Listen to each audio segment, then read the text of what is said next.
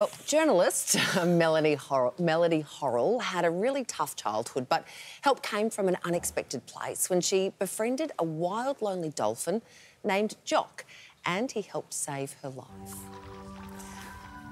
Let's uh, let's welcome Melody now to Studio 10. Melody, you there? I am indeed. Thank you so much for having me. Tell us, how did you come to meet Jock, this wild dolphin? Well, one of my lecturers at university had been studying the Port River dolphins for several years. And um, during one of the lectures, he was talking about the importance of the human connection with nature and explaining how he'd come to know the resident dolphins in the Port River. And as a student, I was just enthralled by this. And I put my hand up and I said, do you need a research assistant? Uh-huh. And he basically said, sure, you know, I could always use an extra pair of hands. So out I went on the boat. And uh, for those who may not know, the Port River is about 30 Ks outside of Adelaide. Mm. And it's a, a, a fairly industrialised river system where resident dolphins live. And the very first time I was out on the boat with Mike Bossley, the, my lecturer, I saw this dorsal fin, uh, this terribly mangled dorsal fin circling this boat moored in the middle of the river. And I actually couldn't believe it was a dolphin. His dorsal fin was so badly mangled. And he was just circling around and around this boat. And he seemed so lonely and so disconnected from the other dolphins that my heart just immediately went out to him. And I, I felt this immediate connection with him. We're just looking at those yeah, pictures images of, are... of you swimming with him. That was amazing. Did you communicate with him in any way? well, I think we communicated um, non-verbally, obviously, because uh, dolphins can't speak human, but we communicated via touch. Uh, I my relationship with Jock evolved over a three year period. So, for three years, I was essentially uh, in the water with this completely wild dolphin. He, we didn't entice him, we didn't feed him. He interacted with myself and a few other research assistants, basically. Uh, for no enticement because he wanted to. So, over that period of time, I learned to experience this relationship, which was unconditional.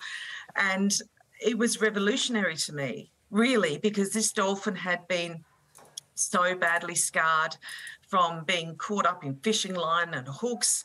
And yet he trusted me. And I guess through my relationship with him, I learned to trust again. And I also learned to live in the joy of the moment. Yeah, being in the water with this entirely wild creature was incredible. Let, us touch on that, Melody, because the uh, the images and footage we're seeing is fascinating. They're yeah. beautiful creatures. You've said Jock has saved your life. Now, how? Let's mm. unpackage that. How's he done that? Well, when I first uh, jumped into the water with Jock, I had come from a pretty um, difficult past. My childhood was really plagued with uh, domestic violence, and Jock my relationship with Jock and how it evolved helped me realize that I could trust again. Mm. And it was that that development of that trust and that unconditional acceptance that I'd never really felt growing up. And he also helped me reflect on my internal scars looking at his external scars and what he'd been through um, helped me reflect on my internal scars in a way. So I guess he saved my life in that he helped me to reconnect to myself and trust again and feel that unconditional friendship and acceptance that I'd never really experienced growing up. And he's, he's allowed you to heal, hasn't he? He has. And, you know, it wasn't just Jock. I, I, got to know a number of the other Port River Dolphins as well. And watching them interact with one another and the way they work together uh, really helped me reflect on my own life. And I learned so much from being out on the water with the dolphins and watching them and interacting with them, but particularly Jock. Yeah, he was such a, a solitary soul and seemed to want that connection so, so very much, as did I. Mm. So we connected on a fairly deep level. What, um, where, where is Jock, Jock these days? Mm. Unfortunately, Jock passed away. Oh. He, um, yeah, his body was found fairly decomposed.